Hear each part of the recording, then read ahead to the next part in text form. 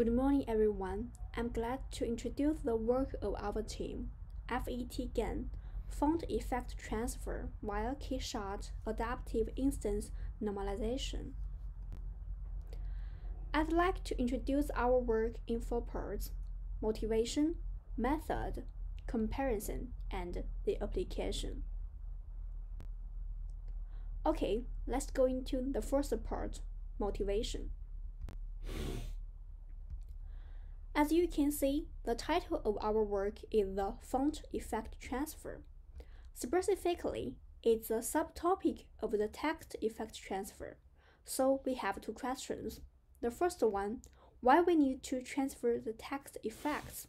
The other one is how font matters. For the first question, some researchers have given the answer. In the work called T-Effect from CVPR 2017, the author gave the definition of text effect transfer. It aims at learning the mapping between text visual effects while maintaining the text content. This is a common task in design, but it is tedious and repetitive to apply text effect to all characters manually. This problem is especially serious when the character set is very large, such as the Chinese or Japanese character set. In the existing works, the inputs are source text S, source effect S prime, and the target text T. The output is T prime. The T prime has the same glyph as T, while sharing the effect of S prime. These four objects constitute an analogy. As an assistant editing tool, it can automatically transfer effects from one glyph to another one. It reduces the labor cost of designers. However, the existing text effect transfer work didn't consider font changes. It means the T prime cannot transfer the font of input S prime. But how font matters? Perhaps we need some examples to illustrate. For the same content or text, different fonts indeed make a difference. I will always find you. It can be lovely and happy. I will always find you. It also can be scary and creepy. Although only the fonts are different, all of us can feel their emotions are completely distinct. Here is another example. This is a note posted by someone on the door, written in the font of Comic Sans. Please keep the door closed, thank you. Then some guy posted another note, possibly a letter, which read, Please don't use Comic Sans. So we can find that the choice of fonts is highly correlated with the visual expression. In real design scenarios, such as poster design, the goal of text effect transfer is not only to keep the colors, shadows, and texture to be the same with the input, they also need to use the same font and the input to make the style or feeling harmonious. So, it's our research problem, text effect transfer with font variation. As the picture shows, the transfer not only covers visual features such as colors, shadows, textures, but also have the font changes. Since there is no need to build an analogy, comparing with the existing method, our method only requires two inputs.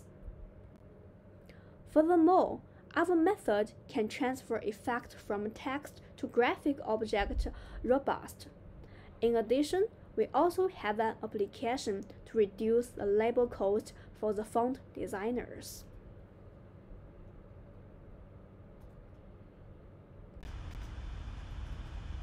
Okay, let's move into the method part.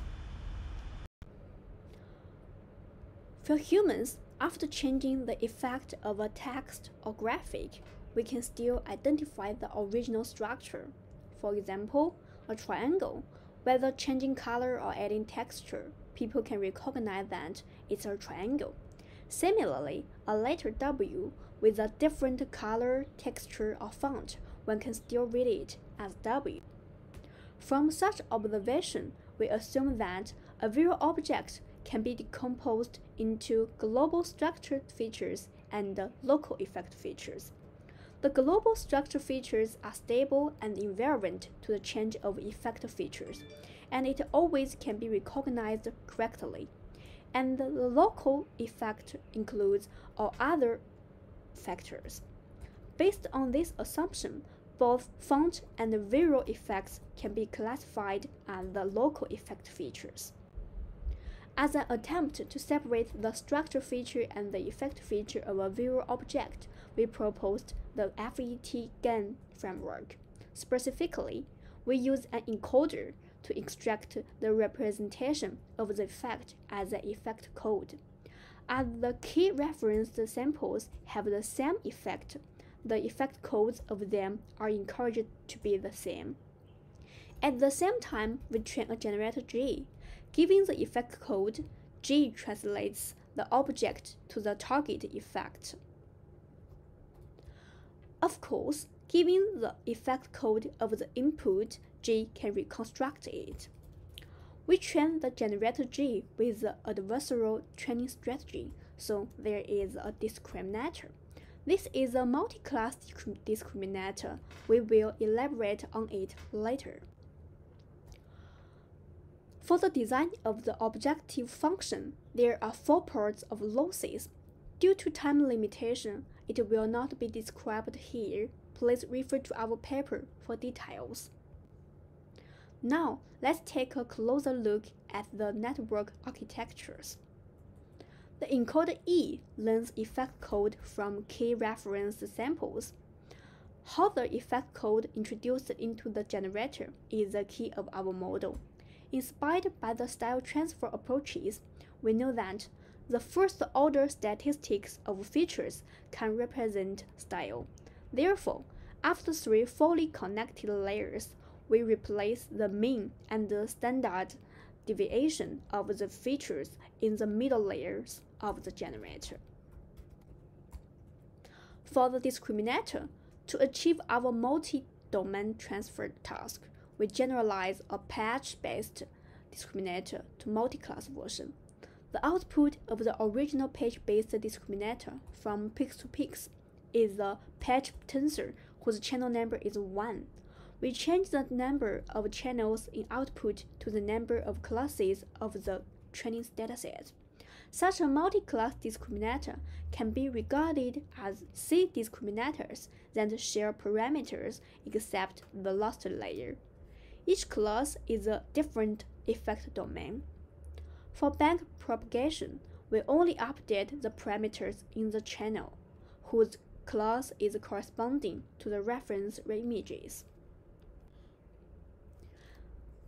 This multi-class discriminator allows our model to be generalized to new effect.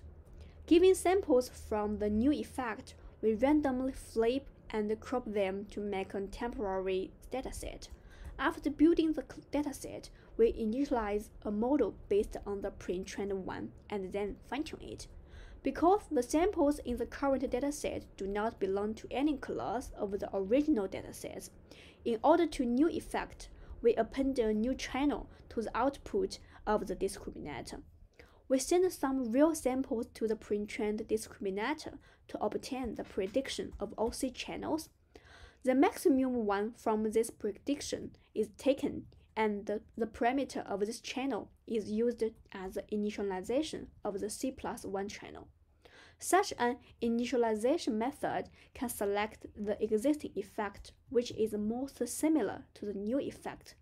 Then we fine-tune a new model to support the new effect.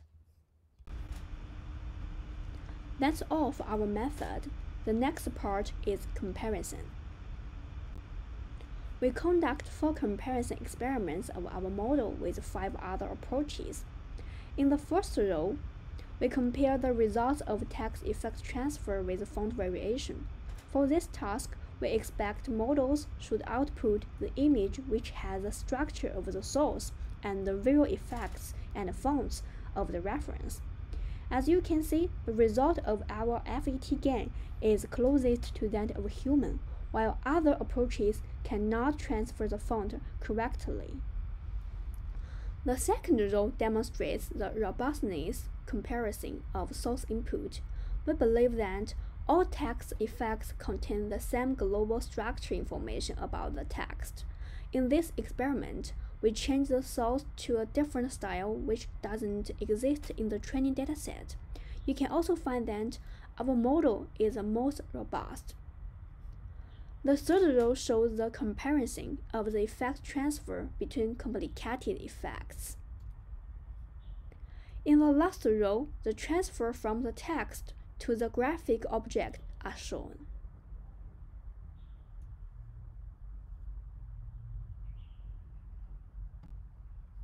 Here is the ablation study. We study the effect of the different losses.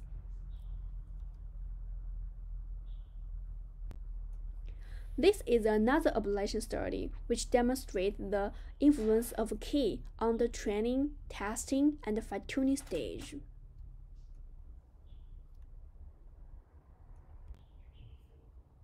In this experiment, we verify that effectiveness of the fine-tuning strategy, which is used to extend the trained model to the new effect.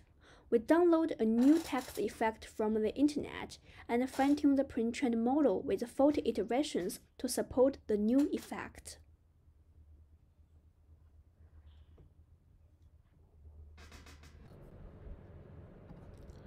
For the application, we design an experiment of complementing characters in the font library automatically. We collect a new dataset, including 100 fonts, each with more than 700 Chinese characters, 52 English letters, and 10 numbers. There are a total of 83,700 images. The figure shows an overview of these fonts for the same Chinese character. We choose this Chinese character read as Yong because it is known for containing all the stroke types. For the 100 fonts, we take the first 80 fonts for training and the remaining 20 as unseen for fine-tuning. In the first two rows, there are four transferred examples of characters in the dataset. The transferred images all retain the structure feature of the source and the font feature of the reference. In the third row, we pick two characters not included in the datasets. The results are also satisfactory. In the last row, we randomly choose a new font in the remaining 20 fonts of font 100 and fine-tuning the trend model by 4 samples for 40 iterations. After fine-tuning, our model can also perform font transfer tasks for the new font. This is a more specific example. For the pre-trained model, given 8 samples as the references, it generates 100 characters with the same font as the reference. We open sourced the code of the project and provided the pre-trained models on two datasets. In addition, the Font 100 dataset is open to community too, and everyone is welcome to discuss with us. That's all. Thank you.